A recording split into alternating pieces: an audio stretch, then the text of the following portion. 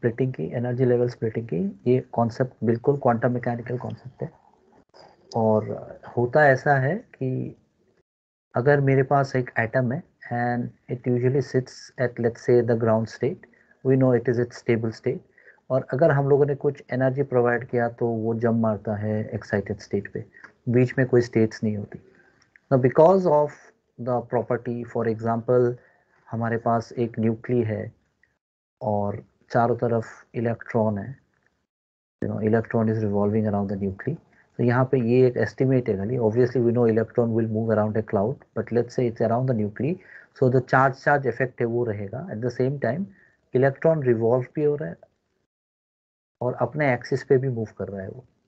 इसके वजह से उसके पास दो अलग अलग फ़ील्ड है because of which it will have additional energy levels involve और वो जो एनर्जी लेवल्स होते हैं, वो बहुत करीब होते हैं कोई भी एक एक्साइटेड एनर्जी लेवल के सामने। So these are very close to each other and this is why it is actually called splitting so, that actually attributes to something which we call as the energy level splitting. अभी मान लो, मैंने ये पूरा का पूरा atom उठाया उठा के डाल दिया एक नए मैग्नेटिक फ़ील्ड में। तो वहाँ पे ये जो स्प्लिटिंग है ना, और हो जाएगी यहाँ पे।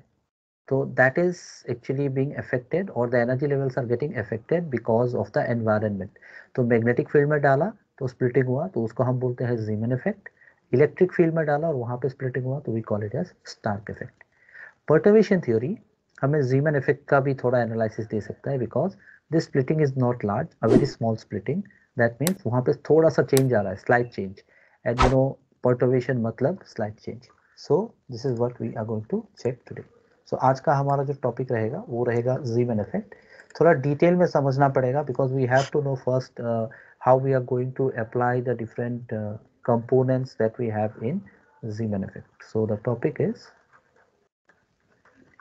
Zeeman effect. And we are going to understand it from, uh, you know, quantum mechanical point of view. So this effect was actually given by Peter Zeeman and he was a Dutch physicist. Dutch matlab holland or netherlands right D-U-T-C-H. So we are going to just uh, you know analyze this from a quantum mechanical point of view. So experimentally भी observe हुआ है ये सो that means हमारे पास theoretical explanation भी होना चाहिए what better than understanding it from quantum mechanical point of view so exam में जब आप लोग लिखोगे इसको you have to use sentences and explain certain things which is very important इसकी वजह से let me just write down some sentences to begin with okay? So that you can prepare your notes properly okay? So basically kya hota hai? Zeeman effect. It's basically nothing but splitting of energy level okay? When atom is placed in an external magnetic हम लोग ने एक external magnetic field पे रख दिया atom को। वहाँ पे और एडिशनल एनर्जी लेवल्स हो जाते हैं। And that is actually called the Zeeman effect okay and maybe I can write down this is B to the base external E X T okay B subscript external and this is known as is known as Zeeman Definition of Zeeman effect is very important. और यहाँ पे हम लोग जब इसको explain करेंगे we are basically going to explain it for a single electron ठीक है? तो हम लोग, मान लो मेरे पास एक सिंगल इलेक्ट्रॉन है so let me just write it down for single electron अब इलेक्ट्रॉन में मेरे पास क्या क्या है so if I consider the for a single electron let's say z मैंने लिखा because of Zeeman because we are studying the Zeeman effect okay this will be actually a combination of mu l and mu s so you know l or s represent करता है orbital motion or spin motion okay of an electron in presence of the external electric field ठीक है And this is actually contributing to you know the reduction process because hydrogen atom पे भी मैंने देखा है जब हम लोगों ने हैमिल्टोनियन निकाला we had the original kinetic energy minus atom here also it's the same it's subtracting from the original term okay और ये जो मेरा एच जेड प्राइम है is actually the perturbation so whatever we have studied in hydrogen atom हम लोग basically उसी को continue कर रहे हैं यहाँ पे। उसका आइडिया हम लोग कैरी फॉरवर्ड कर रहे हैं जीमेन इफ़ेक्ट में।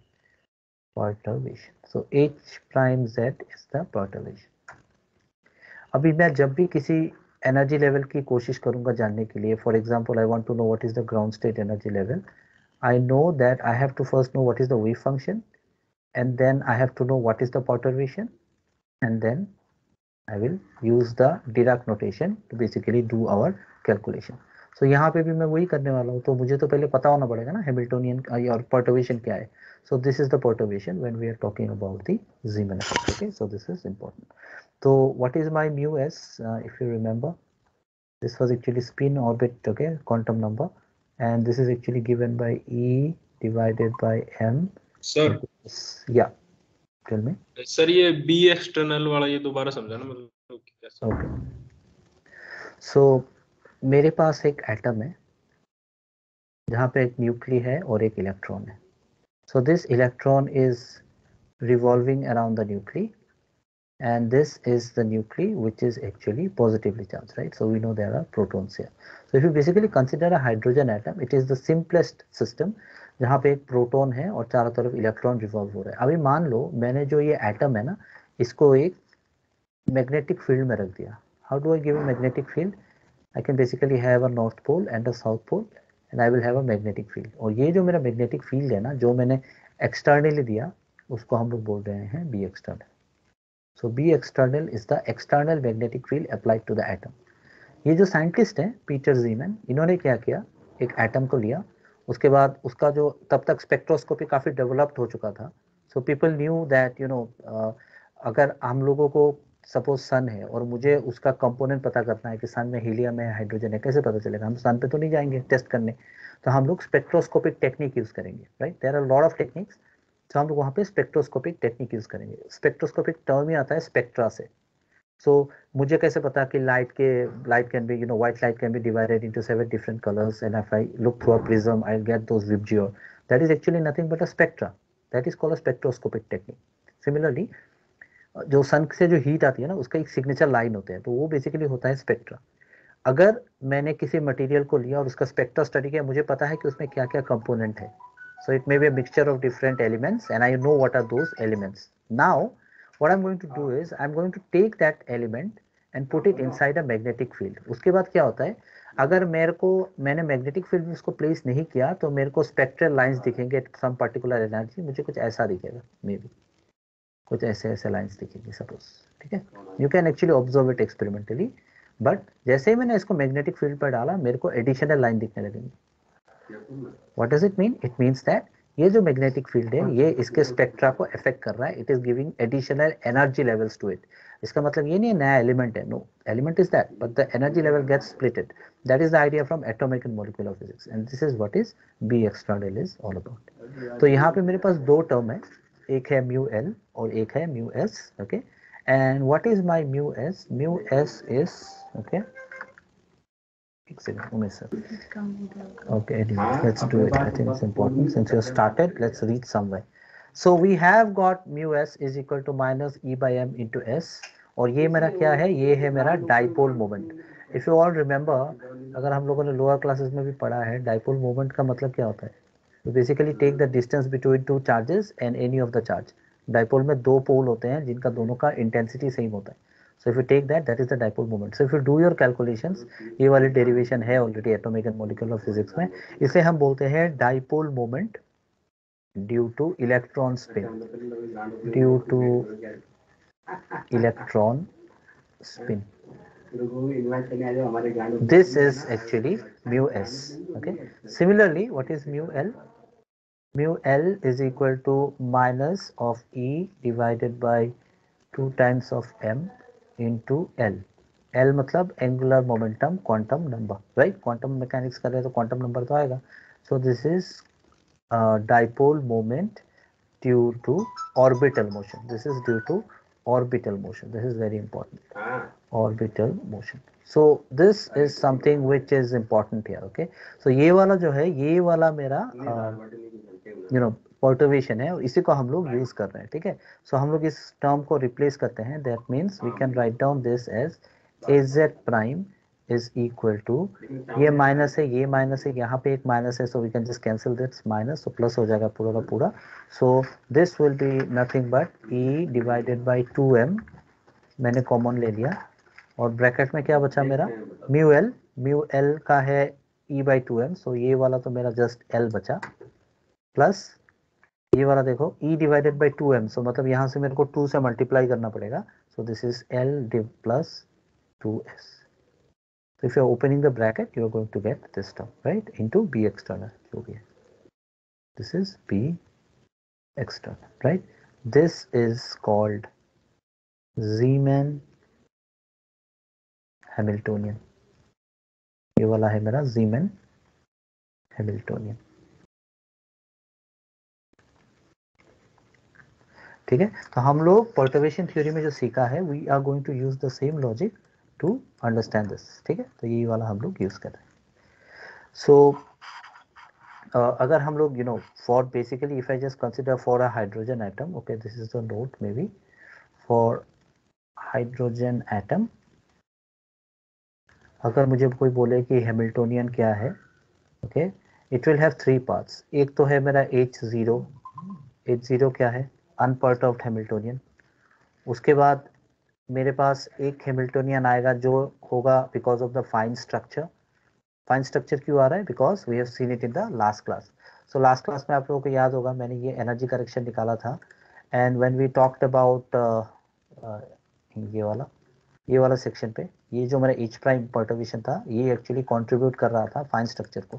तो हाइड्रोजन एटम का तीन रहेगा. एक रहेगा हेमिल्टोनियन विद ऑफ़ हेमिल्टोनियन दूसरा रहेगा perturbation because of the structure because of which we have the fine structure और अभी सिंस मैंने ये एटम को मैग्नेटिक फ़ील्ड में डाल दिया, मेरे पास और एक एडिशनल टर्म आएगा which is nothing but the Zeeman perturbation so this delta H Z prime right just notation है डोंट वरी डेल्टा इसलिए लगाया because we know perturbation is a very small term right ज़्यादा बड़ा होगा तो it is not perturbation you are changing the entire system perturbation मतलब वही system है, वहाँ पे स्लाइड चेंज हम लोग कर रहे हैं. So that is actually called perturbation okay so this is very important so हमारे पास क्या मिल रहा है यहाँ पे? यहाँ पे मिल रहा है स्पिन मिल रहा है स्पिन मोशन ऑर्बिटल मोशन अगर स्पिन मिल रहा है ऑर्बिटल मोशन मिल रहा है एटॉमिक फिजिक्स मुझे ये बताता है कि we are basically going to have a spin orbit coupling okay so I have a spin orbit coupling okay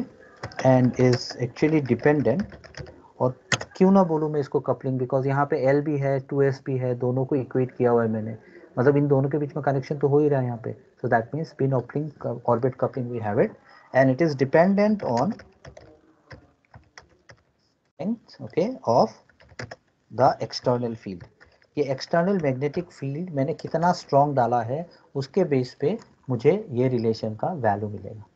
So it will actually depend on this field please remember अगर मैंने बहुत strong field दिया I destroy the system so it can not be too strong but then उसका जितना भी intensity रहेगा, उसके base पे मुझे ये स्प्रिन ऑर्बिट कपलिंग का मिलेगा, ठीक है?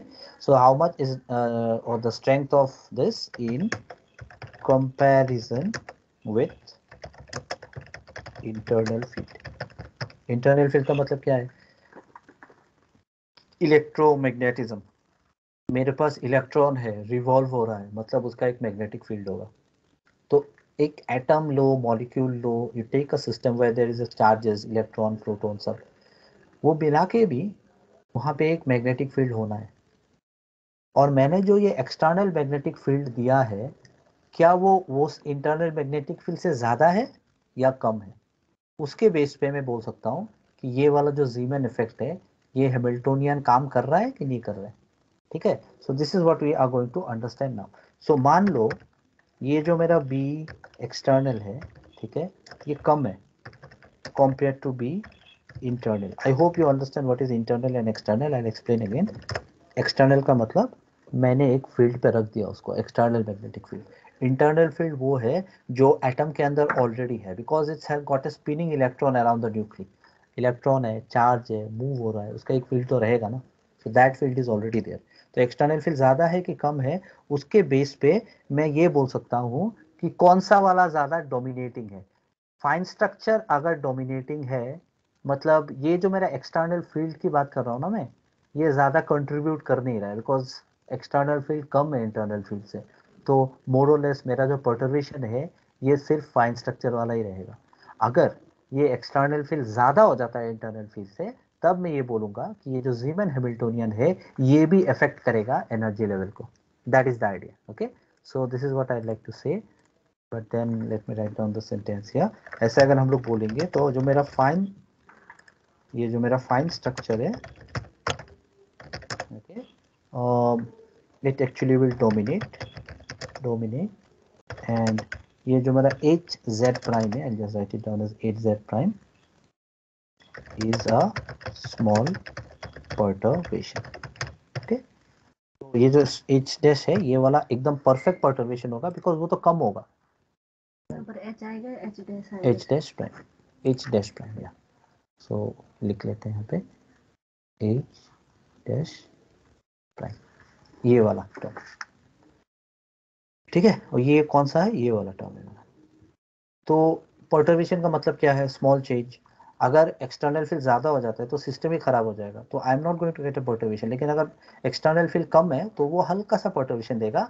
Fine structure will still dominate okay fine structure will still dominate, okay? So this is very important on the other hand, अगर मेरा ये जो एक्सटर्नल वाला है,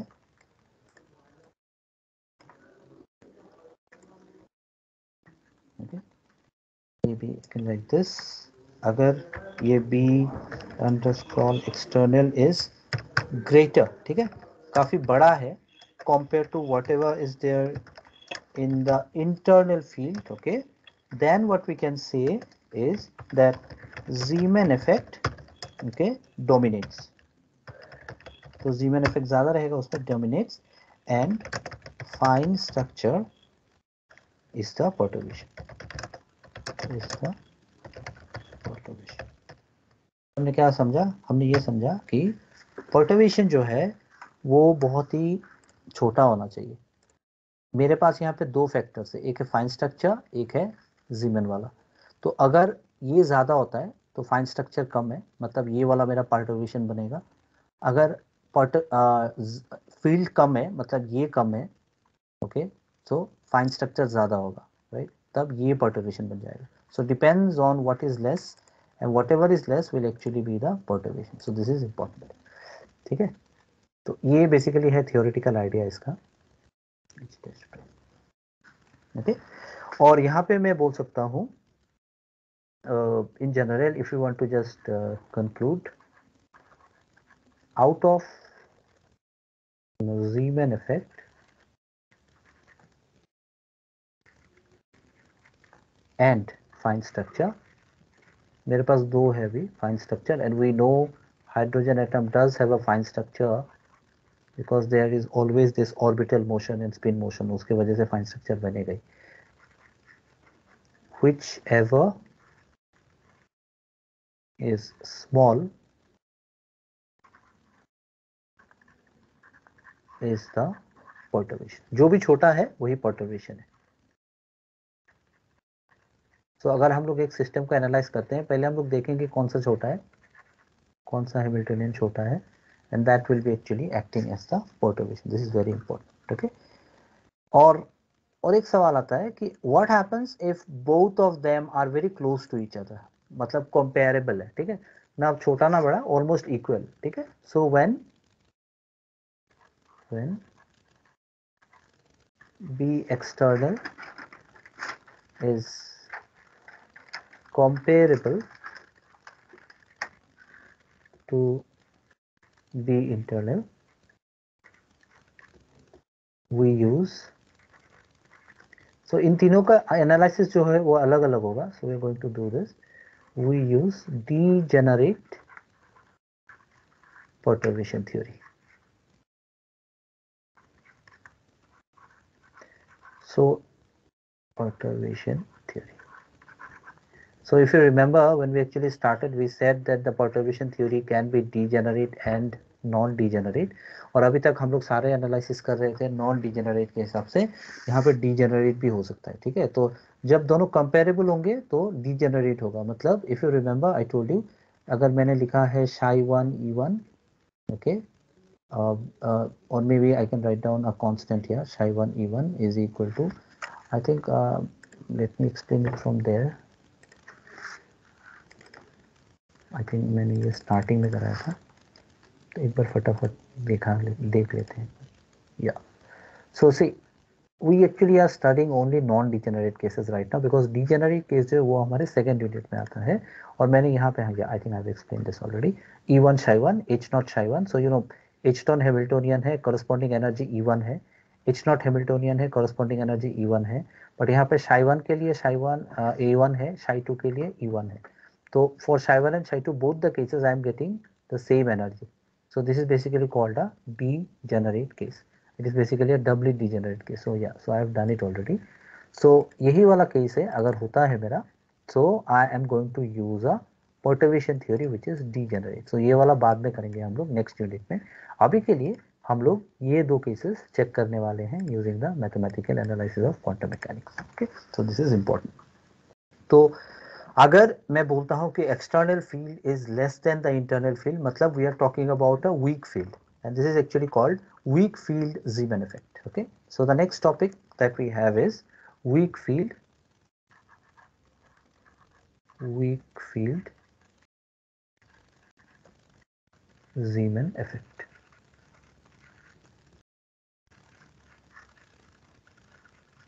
so what is weak field it means that we external is less than b internal. इसी को हम बोलते हैं weak field similar effect BSc में सर इसमें पर्टर्बेशन वर्ड यूज़ नहीं करते थे। बीएससी में? हम्म। नहीं बीएससी में तुम लोगों ने जो पढ़ा है वो एटॉमिक एंड मॉलिक्यूलर फिजिक्स में जीवन इफ़ेक्ट पढ़ा है सिर्फ़। वहाँ पे तुम लोगों ने क्वांटम मैकेनिकल एनालिसिस किया ही नहीं है उसका कभी। हाँ वैसे तो पढ़ा था जैसे जीवन इफ़ेक्ट उसके दो पार्ट वीक और स्ट्रॉन्ग बट उसमें कहीं पर्टर्ब भी यूज़ नहीं किया बिकॉज़ पर्टर्वेशन थ्योरी हम लोग यूज़ नहीं करते ना। Most of the undergraduate courses में पर्टर्वेशन थ्योरी नहीं होता है। पर्टर्वेशन थ्योरी नहीं होता हम लोग शॉर्टिंजर इक्वेशन वगैरह पढ़ते होते हैं। ठीक है उसका जो डिफरेंट सिचुएशन है कैसे वेव एनालिसिस होता है de Broglie wavelength hypothesis uncertainty principle वो सब पढ़ते हो। ठीक है? Perturbation theory basically is mentioned only for PG courses very important ठीक है? तो जब हमारे पास एक वीक जीमैन इफ़ेक्ट होता है मतलब B external is less than B internal मेरा जो फाइन स्ट्रक्चर है, वो डोमिनेट करता है।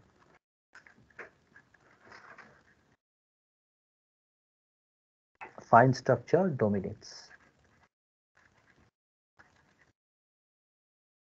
right so that means जो मेरा जीमैन टर्म है Zeeman term and Zeeman term क्या था मेरा? Del H Z prime okay ये वाला जो टर्म है, ये वाला होता है perturbation is the perturbation is the perturbation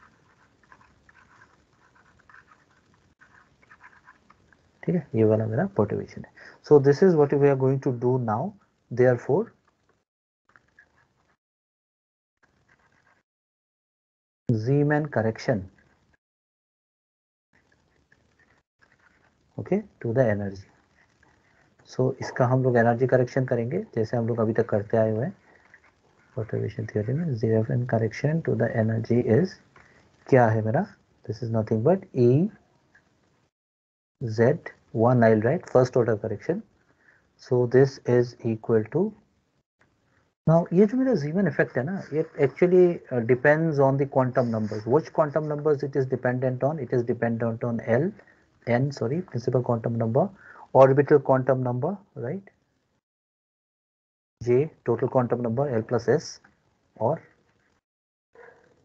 M J right so M J and J are connected you already know so ये वाला क्वांटम नंबर पर डिपेंड करता है means we are going to operate on this perturbation that we have which I have denoted it as hz prime within this constraint, within these quantum numbers n, l, j, m. मतलब मैं जब इसको operate करूँगा मेरे पास जो wave function होगा इसके उसमें सारे इंफॉर्मेशन होने चाहिए about N L J N M J because मैं जब एक एटम लेता हूँ और मैं सोचता हूँ कि न्यूक्लियर के चारों तरफ़ इलेक्ट्रॉन मूव कर रहा है उसका जो क्वांटम मैकेनिकल स्टेट है, वो कैसे डिफाइन होता है? क्वांटम नंबर से। Principal quantum number angular momentum quantum number right J which is L plus S and M J which is directly dependent on J तो हमारे पास जो स्पिन होता है, वो किस तरफ़ से ओरिएंट होता है, ये डिफाइन किया जाता है एमजे के एमजे से, ठीक है? So that is a part of atomic and molecular physics right so right now हम उस डेप्थ में ना जाते हुए we are just going to tell you that we are going to find out the first order correction to the energy using this particular expression ठीक है so don't worry we are not going to use the wave function it's going to be simple हम लोगों ने perturbation theory में ये भी पढ़ा कि you know if it is throughout okay we can actually use certain conditions but what we can do here is h prime dash or h prime dash matlab uh, we have already found out this to be this right so we are going to use it here so h prime dash is equal to e divided by 2m when we replace mu l and mu s e divided by 2m which is constant. We don't integrate over this. And then into we have got the external field which is also fixed. We don't integrate over this. We are only going to find out the expectation value of L plus 2S. It depends on the system and based on that each system will have a total you know orbital quantum number and the spin quantum number and we are going to find out an expectation value of this. So what is this and how do they come from here to here? We are talking about a perturbation and both the cases we have got these values to be the same okay और हम लोग मतलब जब ले रहे हैं ना इस वैल्यू को so we know this is the perturbation throughout. So if that is the case, since we have already seen it before that agar maine aise liya psi suppose x psi we can just take it to be expectation value of x. So here also what we are doing is we are just taking the expectation value of h dash prime और h dash prime मेरा है e by 2m into b external into l plus 2s तो ये पूरा term constant है तो इसको expectation value के बाहर ले लिया और अंदर रहा मेरा l plus 2s. So we are going to do it now. So this is my expression one, right? So we don't have a you know no confusion. So it's very simple. ठीक है? Now अगर मैं कोई भी एक energy level की बात करता हूँ maybe the first order energy level और the second order energy level ये जो स्प्लिटिंग है ना, ये इक्वल होता है हमेशा याद रखना। So this will be dependent on M J so the for a particular value of J you are going to get different values of M J the energy level is directly you know dependent on M J अगर ऐसा मैं बोलूँ तो we can say that the splitting that we are talking about are equal splitting are equal so you have an energy level and because of the external field it gets splitted. So if you have uh, you know a G value of j as uh, let's say half okay maybe not 3 by 2 half mj ka value kya hoga okay. So you know it will be minus half zero half and so on. So you will have these values right? So it will be splitted equally on either side and then we will be having two more energy levels which will be defined by these quantum numbers right so in general if i want to say that how many electrons will occupy a particular energy state it will depend on what what is exclusion principle right no two electrons with the same quantum number can occupy the same quantum state correct है याद है अगर मैं अचानक से देखता हूँ कि नहीं यहाँ तो बहुत ज़्यादा इलेक्ट्रॉन हो गया एक पर्टिकुलर रीजन में तो लोगों ने क्या देखा कि दो इलेक्ट्रॉन तो नहीं हो सकता जिनका सेम क्वांटम स्टेट है बट जब तक लोगों को दूसरे क्वांटम नंबर के बारे में पता नहीं चला था, उनको लगा कि अरे, ये दोनों तो एक ही स्टेट में है। बट जब उसको करीब से देखा देखा कि नहीं, ये दोनों एक स्टेट में नहीं है, ये दोनों अलग अलग स्टेट में है। इसका एम जे वैल्यू अलग है, इसका एम जे वैल्यू अलग है। मतलब इन दोनों का क्वांटम नंबर अलग है। They are not the same quantum number they are different quantum number altogether ठीक है? इसके वजह से ये फाइन स्ट्रक्चर बहुत ज़रूरी है एक्सप्लेन करने के लिए the structure of atoms and all okay but anyway we not going there I just thought of telling you this one so इसीलिए ये बोला, ठीक है? सो दिस इज़ इंपॉर्टेंट और उसके वजह से हमें ये मिल गया कि मेरा एनर्जी लेवल करेक्शन क्या होगा? So what we can do now is we can actually do certain calculations but calculation से पहले थोड़ा ट्रिगोनोमेट्री करेंगे, जो आप लोगों ने पढ़ा होगा लोअर क्लास में, ठीक है?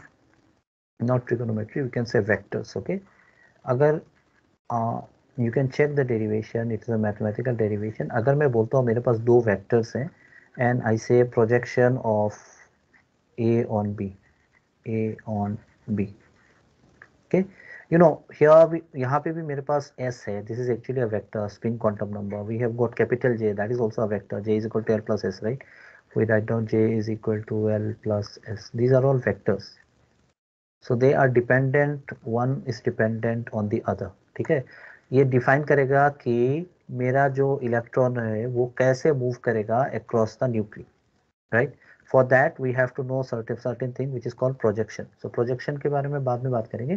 But in general when we write down the mathematical form of projection let's A projection of A on B we can write it down like this projection okay projection of A on B maybe I can write it down as A bar there is a derivation for this but then for now we are not deriving we just need to remember this B bar square dot b bar this is the projection of a on b okay so यहाँ पे मैं क्या करने वाला हूँ we are going to talk about this as projection of for this particular problem of s on j that means how does the spin depends on the j value okay j जो कि मेरा sum है s plus l l plus s का So if you remember your LS coupling and JJ coupling, we have these terms there.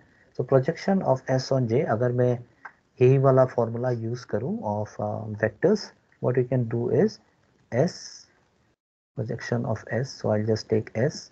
I will take average because there can be so many S and L values. I'll just write down this an average, Just a notation.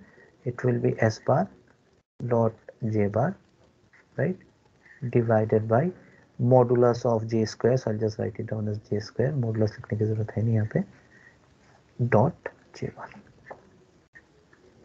right I'm not putting a bar here because at the denominator it's a scalar you take b bar square मतलब b bar dot b bar तो वो scalar हो गया so that's why it's just j square right so let's just know what we know from our basic idea of atomic and molecular physics. But L bar is equal to J bar minus S bar. I think we know it.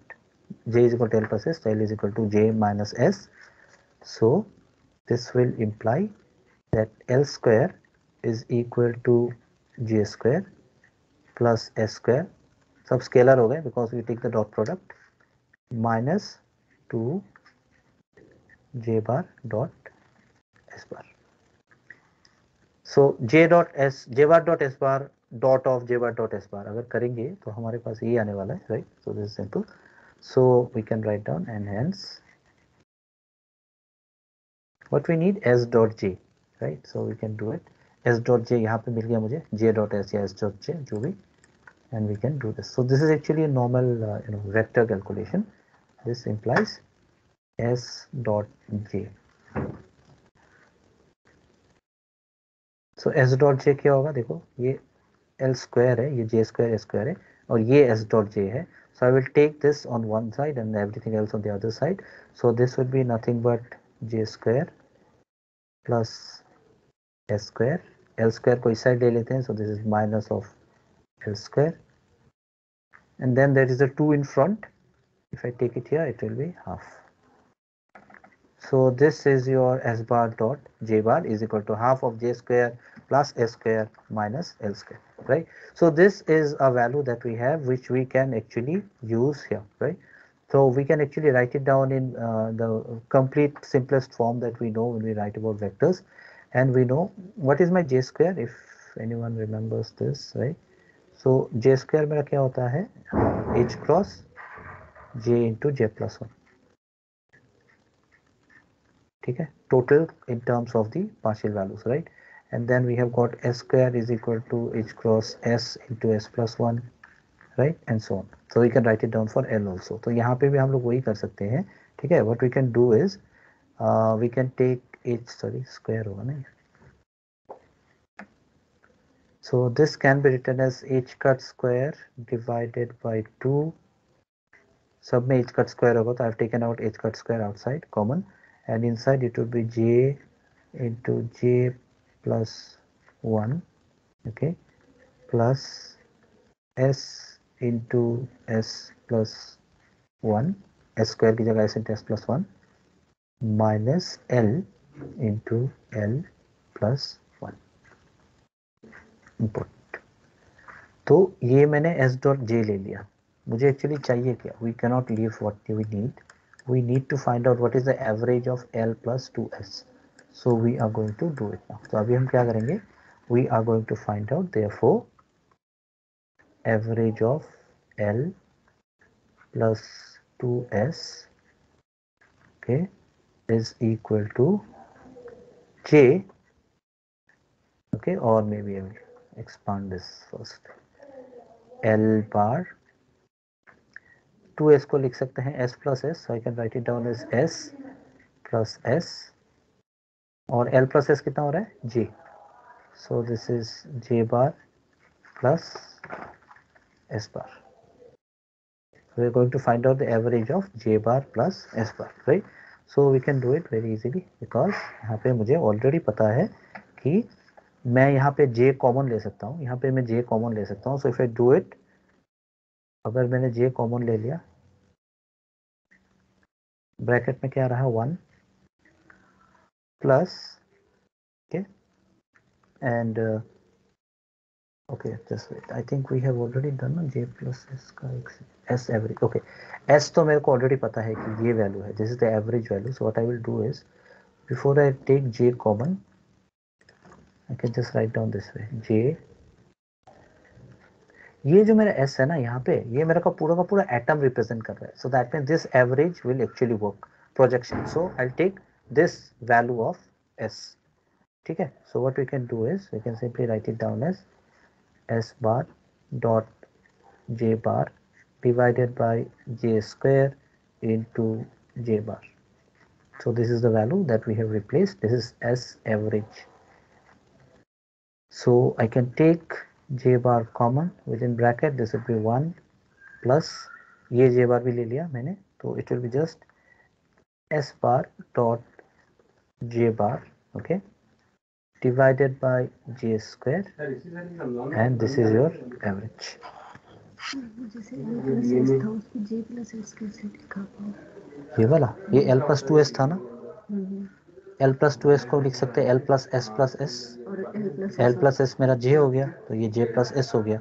लेकिन ये जो मेरा equation है this is actually representing ये वाला जो j, l plus 2s हो रहा है, ये रिप्रेजेंट कर रहा है पूरा का पूरा एटम को।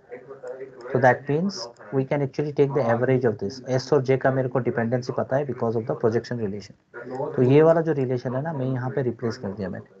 ठीक है? उसके बाद मैंने कॉमन ले लिया। अभी मेरे को ऐसा वाला एक टर्म मिल गया, ठीक है?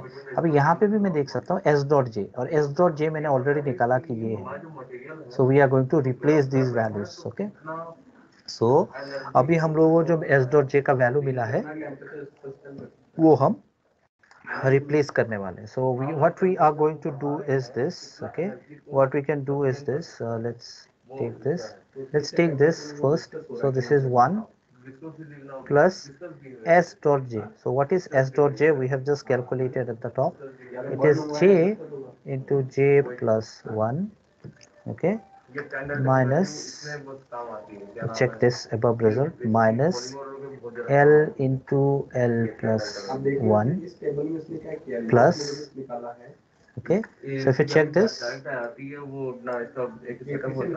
j into j plus 1 minus L into L plus 1 plus S into S plus 1 but S क्या है S तो half ही होगा because this is spin right so so S का वैल्यू तो वेरिएशन है नहीं जब भी हम लोगों ने क्वांटम मैकेनिक्स में पढ़ा या एटॉमिक मॉलिक्यूल में पढ़ा so S is always half into half plus 1 right divided by 2 into j into j plus 1 Q 2 into j into j plus 1 because if you check here we have h cot square divided by 2 यहाँ पे मेरा जो है ये j square है। Dot भी J dash भी आएगा कौन सा? हाँ वो आएगा वो लिखेंगे हम, ठीक है? I am just writing down whatever is here inside this bracket one plus S dot J so ये वाला मेरा one plus S dot J हो गया ये divided by J square J square हो गया मेरा ये हम्म, ठीक है? तो that is there already and then what we can do is we can take average of J average of J ठीक है so this is the result that we are actually getting अभी हम लोग क्या करेंगे यहाँ पे? This term that we have within the bracket ये है Lande g factor if you remember again ये वाला तुम लोगों के एटॉमिक एंड मॉलिक्यूलर फिजिक्स में तुम लोगों ने पढ़ा होगा.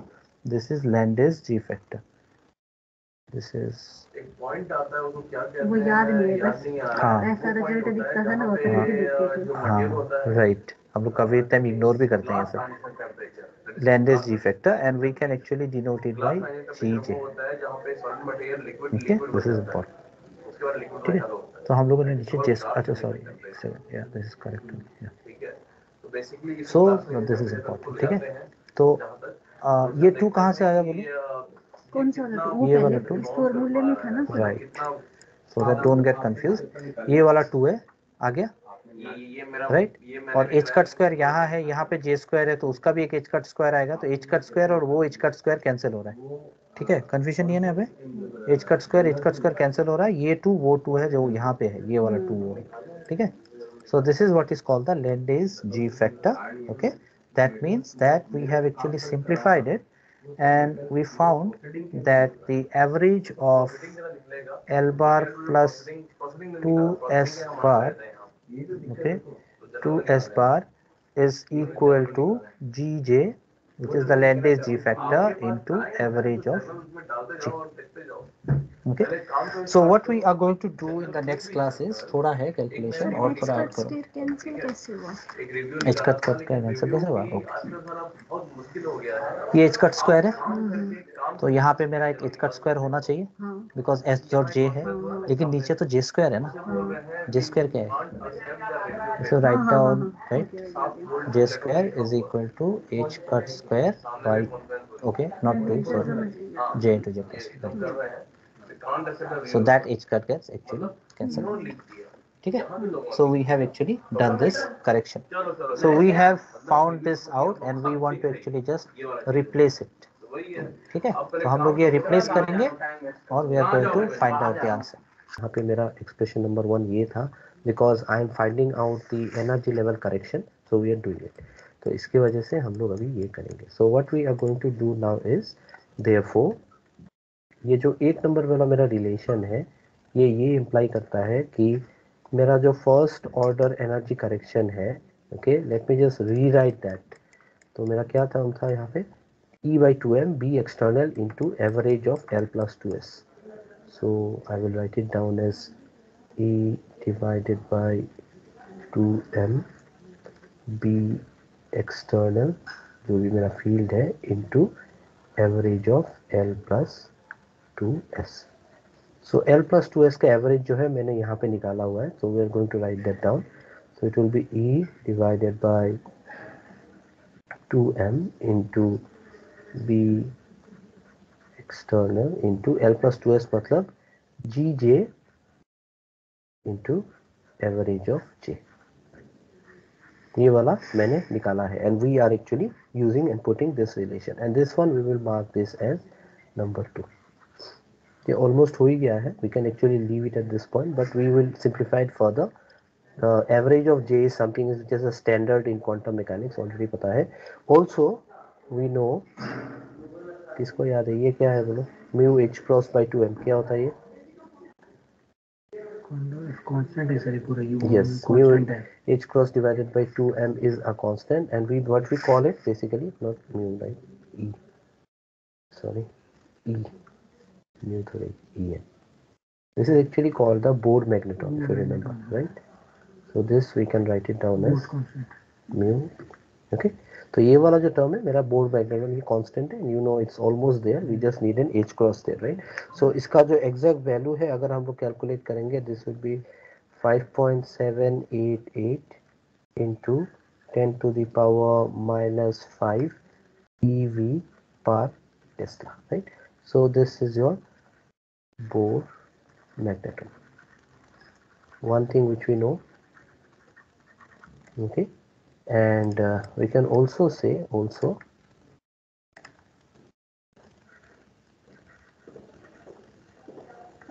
average of j ठीक है मेरा जो average of j है से so, मेरा जो एवरेज ऑफ़ जे है ना वो है basically H cross into M J ठीक है? ये वाला मेरा क्वांटम मैकेनिकल डेरिवेशन है average of the total angular momentum is H cross M J तो हम लोग यहाँ पे ये रिलेशन बैठा सकते हैं। Therefore E Z prime is equal to E divided by two M into B external B external into g J into average of J मतलब H cross into M so h cross और you know h cross को हम लोगों ने ले लिया वहाँ पे। कैंसिल नहीं करना है इसको। Right will be getting it in terms of Bohr magnetron so ये वाला मेरा एच क्रॉस हो गया। तो E H cross divided by two M उसको म्यू लिख देंगे। ये म्यू लिख देंगे राइट म्यू बी बचेगा। B external external g J g J M J M J ये हो गया मेरा correction first order correction to energy when we are considering a weak field Zeeman effect ठीक है? जो अब हम लोग वीक फ़ील्ड Zeeman effect लेंगे, ये वाला मेरा हो गया फ़र्स्ट ऑर्डर करेक्शन ठीक है? तो यहाँ पे थोड़ी एनालिसिस कर लेंगे। पहली बात तो ये है कि किसी भी सिस्टम का टोटल एनर्जी हमें चाहिए होता है। और यहाँ पे अगर हम लोग लिखें कि मेरा टोटल एनर्जी क्या है it is actually divided into two parts एक तो आता है मेरा फाइन स्ट्रक्चर से because of the internal structure of the system एक आ गया मेरा फाइन स्ट्रक्चर उसके बाद दूसरा वाला जो हो गया जीमेन कंट्रीब्यूशन तो यहाँ पे मेरा वीक फ़ील्ड है मतलब जीमेन जो है वो परटर्वेशन है। एनर्जी कौन से फ़ील्ड मतलब कौन से सिस्टम में चेक कर रही है? So basically what happens is when we say that we have got an energy level splitting split हो रहा है ना तो अगर मैंने ऐसे splitting दिखाया मतलब we are talking about the energy levels if I know what is the total energy that means इसका energy इसका energy इसका energy we should know everything ना Everything. तो वही वाला total energy जो है वो represent करेगा fine energy structure को fine structure को as well as the Zeeman contribution ये जो external magnetic field है उसके वजह से भी सिस्टम में एक अलग सी एनर्जी आ जाएगी लेकिन वो हल्का सा चेंज है इसीलिए हम लोग इसको परटर्वेशन में ले रहे हैं so this Zeeman contribution is actually perturbation ठीक है perturbation in weak field weak field weak का मतलब जो मेरा इंटरनल फ़ील्ड है, वो स्ट्रॉन्ग है compared to the external applied field idea एकदम सिंपल है। ठीक है? तो ये वाला मेरा है टोटल एनर्जी ठीक है? तो अगर मैंने एक एग्जांपल लिया लेट्स से ग्राउंड स्टेट मुझे ग्राउंड स्टेट का निकालना है। तो मुझे तो कुछ पैरामीटर्स ऑलरेडी पता है ग्राउंड स्टेट के। ठीक है? Let's take that I think this one you can remember ground state में एन क्या होता है? वन लेते हैं हम लोग। ठीक है? अगर एन वन है तो एल का वैल्यू ज़ीरो है जे का वैल्यू हाफ़ है right J is equal to L plus S L zero है एस हाफ़ है तो J is equal to half I think clear है राइट तो इसके वजह से हम लोग जी जे निकाल सकते हैं। जी जे क्या था? याद है? जी जे क्या था? किया ना? लैंडेस जी फैक्टर राइट ये वाला मेरा जी जे है। जी जे है। This is actually Lande's G factor right यहाँ पे मैं वैल्यूज़ बिठा सकता हूँ, ठीक है? तो क्या है? One plus J into J plus one minus L into L plus one plus S into S plus one, half into half plus one divided by two J into J plus one. तो दीप बिठाते हैं value देखते हैं ground state पे मेरा जी जे का value क्या आ रहा है? So if you do that you can directly write it down as 1 plus so एक तो हो गया मेरा L into L plus 1 वो तो ज़ीरो हो गया बिकॉज़ ये पूरा का पूरा ज़ीरो है right and then what we have is ये ज़ीरो हो गया। J into J plus one half into half plus 1 okay so J मेरा क्या है? Half so half into half plus one कितना हो रहा है? Half into half plus one plus ये वाला भी half into half plus one divided by two times of half into half plus one two times of J into J plus one right so if you do the calculation you know ये half into half plus one half into half plus one नीचे भी एक half into half plus one तो ये common ले लेंगे तो सब half into half plus one वैसे भी कैंसिल हो रहा है। ऊपर में अगर half into half plus one common लेंगे वन प्लस वन टू हो गया। So that means this be nothing but one plus two divided by two you can do your calculation and you will see that the answer is just two G G का value आ रहा है मेरा two right या four जी जे का value to आ रहा है और मेरे पास दो ग्राउंड स्टेट है right so that means I can simply write it down it as E Z prime is equal to mu B B external into two M J ठीक है? अभी इसका मतलब ये भी होता है कि this G J is basically now representing the Lande G factor and we are having the M J values and we are talking about the ground state मतलब ये वाला जो मेरा एनर्जी लेवल है, ये स्प्लिट करेगा दो पार्ट में। So that means we will be having a fine structure somewhere we will be having a fine structure somewhere and from some point it is going to break into two. So ये represent कर लेगा M J is equal to half और minus half नीचे लेते हैं। और ये represent करेगा M J is equal to so this is the complete analysis of weak Zeeman effect strong Zeeman effect का क्या होता है? लॉजिक क्या होता है? ये जो मेरा एक्सटर्नल फ़ील्ड है B E external is actually much much greater than B internal ठीक है? मतलब यहाँ पे मेरा जीमन इफ़ेक्ट जो है वो डोमिनेट करता है। जीमन इफ़ेक्ट डोमिनेट्स वीक में क्या हो रहा था? Hyperfine structure dominates please remember total energy को कौन डोमिनेट कर रहा है वो अलग चीज़ है और जीमन इफ़ेक्ट क्या है वो अलग चीज़ है।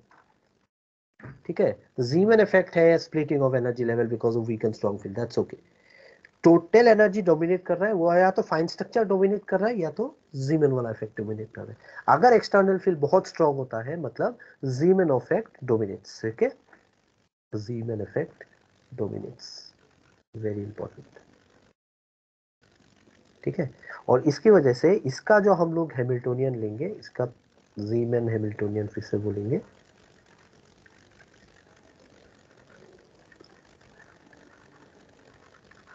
ओके? ये वाला है H prime is equal to E divided by two M ये वाला हम लोगों ने ऑलरेडी देखा है। B E external divide two L set plus two S ये तो हम लोगों ने ऑलरेडी देखा है एल प्लस टू एस हम लोगों ने बोला ना। We just telling that this is along a particular direction let's say in the Z direction ये वाला मेरा जीमन हैमिल्टोनियन है, ठीक है? तो इसका एनालिसिस अलग है और इसको हम लोग बात के लिए रखेंगे। If I get time I do it ठीक है? बट देन इंपॉर्टेंट वीक वाला है, इसलिए वीक वाला मैंने डिटेल में करा लिया। अगर ये नहीं करते तो वी मैंने इंक्लूड इट इन एग्ज़ाम ठीक है?